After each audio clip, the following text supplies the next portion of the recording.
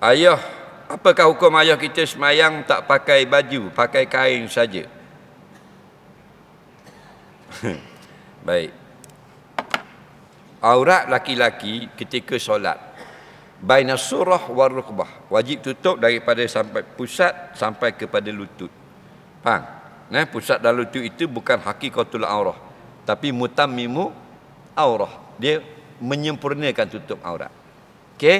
Ha, jadi siapa yang semayang orang laki-laki dia pakai kain plekat itu tak nampak dah pusat dan lutut, maka dalam pergerakan daripada takbir sampai kepada salam jika tidak ada lagi berlaku nampak aurat antara pusat dan lutut sah. Itu hukum sah. Adapun adabnya tak boleh. Kerana dikira biadab. Faham lagi kerana hadis-hadis Nabi SAW memesankan supaya kita memakai yang terbaik bila solat nah kerana Allah ni bukan dia bagi pinjam kita dua ya dia bagi pinjam nyawa Faham tak ke? Ni nyawa kita hidup ni Allah bagi pinjam. Kan kerajaan Terengganu. Faham tak ke? Jadi padang dak oh, yang beri kita pinjam nyawa kita buat lebih kurang dengan solat. Nak?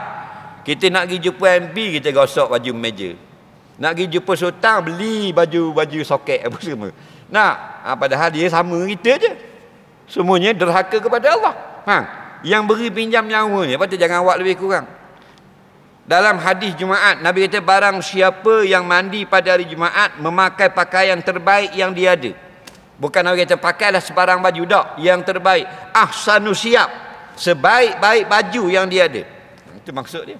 Nah, jadi kalau kita pergi jumpa MB baju kita RM18 semeter, kita jumpa Allah dalam solat, kalau boleh biarlah 800 semeter. Kalau mampu. Faham? Ni tak kaju. nah, ha, muncul aurat terpusat dengan lutut kalau aurat tu kena angry bird saja baru dengan plastik lah. Lagi? Tak akan luar. Nah, ha, berjuruh kita ni. Molek tak kita kalau kita naik bah kita pakai kain plekat itu gua negeri. Baju tak akan. Kita nak pergi bandar. Dok ah pasal apa? Airnya uduh. Ah ha, tu mus semayang mana kita? Nak Ha, malaikan dalam kitab-kitab ulama kata orang itu sangat miskin, tidak ada baju. Ha, itu lain. Nah, ha, kita bukan sangat miskin. Kita ni miskin jiwa, miskin adab dengan Allah. Soalan seterusnya,